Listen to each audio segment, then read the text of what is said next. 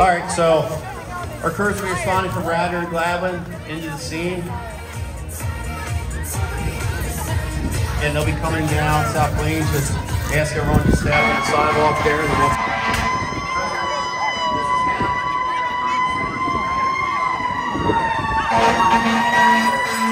then you're trying to contend with vehicles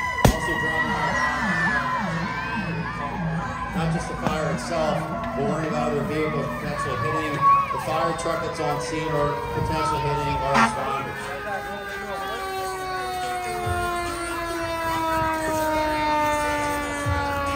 You see both of the crews getting off, everybody's fully geared up. Our driver will be at the pump panel. So everyone's got a different job to do here. Watch our two firefighters at Gladwyne. They're pulling off their crosslay that we call it, their hose. We the firefighters from Radnor, they're pulling off their hose on the front, which is a bumper line.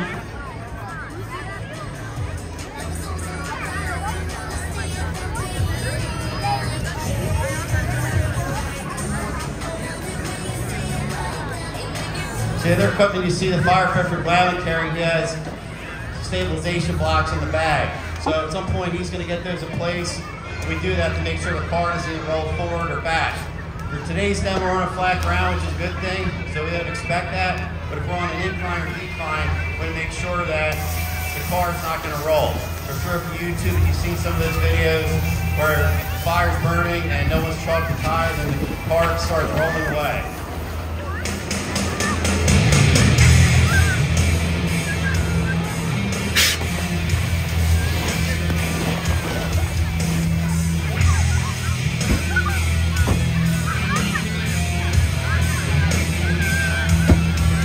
So you have a in the nozzle, and then you have a backup helping with the hose. So we start to see that, that black, nasty, brownish smoke, that's not a good thing. We start to see the white smoke, things start to lighten up, that means we're making good progress. That fire's starting to go out. The firefighter for Gladwyne, just on the other side of the car there, he has what's called a Halligan bar. You saw that's what he uses in vehicle rescue. Have it out, that's okay. Actually, no, take that back, they do. So you look at the one, uh, that firefighter up in the front here, he's using a rescue tool to help get that hood open. So we can either use the rescue tool to get the hood open, help extinguish any fire in there, or we can use the Halligan bar to help get that hood opened up.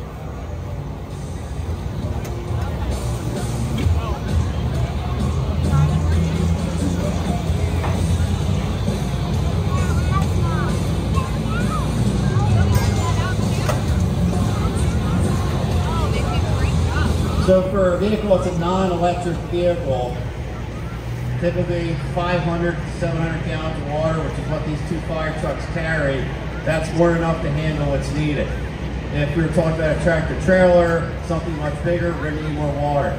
So that's what we would be calling for more fire trucks uh, from our home station, whether it's Radnor or calling what we refer to as mutual aid.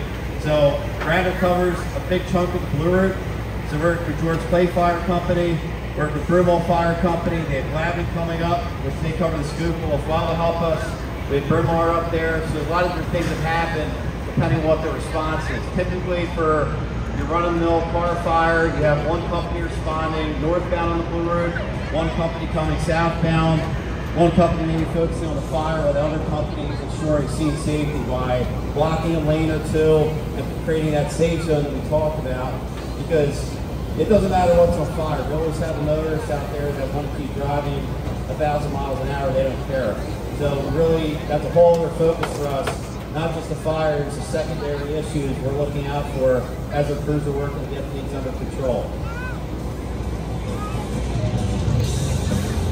All right, so we're just about, got a little bit left here. Let's give the crews from Radnor and Gladwyne Fire Companies a round of applause. Again, just like our demonstration crews from Bridgeport and King of Prussia up in Kansas Fire EMS, all these responders here are volunteers. So huge that they're here today because that's the other things that they can be doing. They're here to help educate, and help demonstrate uh, the skills and what it takes to provide service to the community. So thank all of them for their service.